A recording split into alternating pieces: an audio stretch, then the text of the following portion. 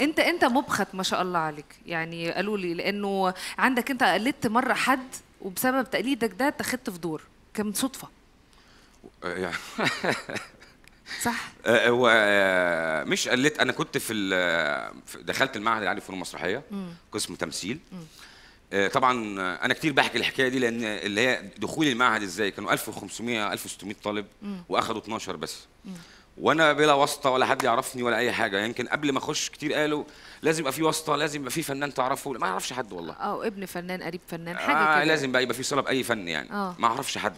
آه. لكن اتكلت على الله واعتمدت على الله سبحانه وتعالى وذاكرت وعملت المشاهد وقدمت في المعهد آه. وقبلت. إيه حكاية مشهد عبد الفتاح الأسري؟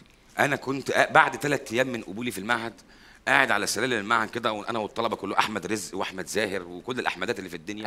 أنا والطلبة أحمد رزق. وبعدين؟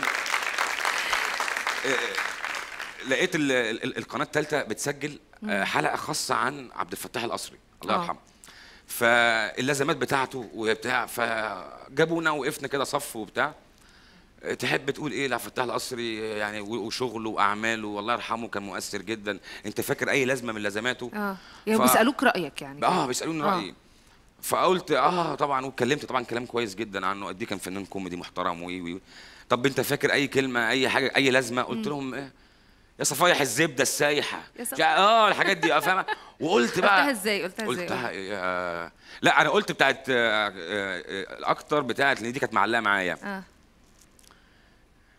اعملي حسابك المرة دي مش هتنزل ابدا المره اللي هي بتاعت نورماندي 2 كان اسمه إيه فكرني كان كده. اسمه إيه؟ هو الفيلم كان اسمه ابن حميدو آه. بس هو كان يعني عامل فيها ال- الغضنفر فاعملي حسابك آه هي. تبص له بصة من دي يقوم نازل على طول آه تد- تقول له حميدو أو حاجة حمي- كده آه، آه، آه. حميدو هتنزل لا حميدو ده كان كان إسماعيل كان ياسين إسماعيل ياسين هو آه، كان إيه؟ حنفي حنفي آه حنفي. يلا قول بقى وأنا هقول حنفي،. آه. آه قول أنت بقى الجملة بتاعت عبد الفتاح اعملي حسابك الموضوع ده أنا اللي هعمله ومش ممكن أتنازل حنفي. خلاص أتنازل المرة دي